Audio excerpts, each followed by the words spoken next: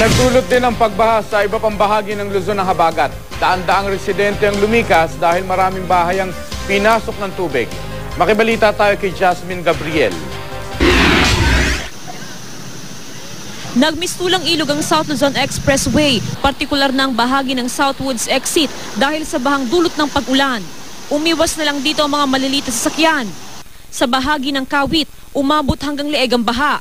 Isinara sa maliliit na sasakyan ng Centennial Road at ang Aguinaldo Highway. Pahirapan naman ang pag-rescue sa mga residente. Umabot sa limang talampakan ng lalim ng baha sa ilang lugar at pinasok ng tubig ang ilang bahay. Ayon sa lokal na pamahalaan, nakadagdag sa pagbaha ang high tide at nasirang irrigation dam sa Tanza. Binahari ng ilang lugar sa Laguna, kabilang dito ang Binyan at Santa Rosa.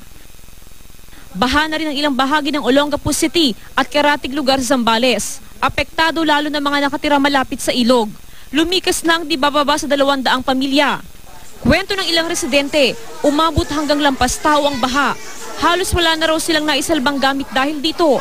Inabisuhan ding lumikas ang mga nasa barangay Kalaklan kung saan nakaranas ng pagguho ng lupa. Naperwisyo rin ng baha ang mga taga-Samal Bataan. May lugar kung saan abot dibdib ang tubig sa kalsada. Hinikayat ng mga residenteng magsilikas muna. Wala ring patid ng pag-ulan sa ilang bahagi ng Rizal.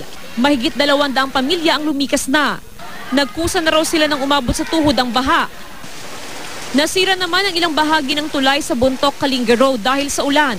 Pansamantala itong isinara para makaiwas sa disgrasya. Jasmine Gabriel, Nagbabalita, Pilipinas.